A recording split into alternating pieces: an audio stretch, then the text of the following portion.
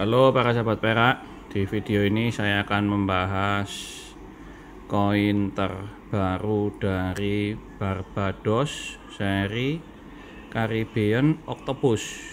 Ini desainnya, tulisannya Caribbean Silver, dan ini adalah koin kedua dari rilis ini.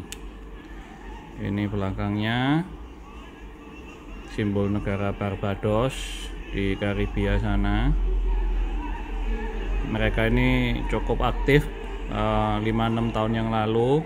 Dan ini adalah seri baru dari mereka. Ini yang tahun lalu. Dan ini yang tahun sekarang.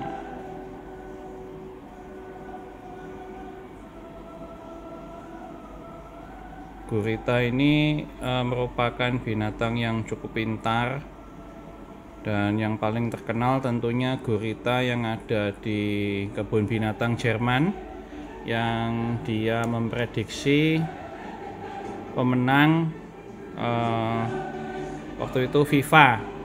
Jadi dia dikasih dua kerang satu dan dua nama negara.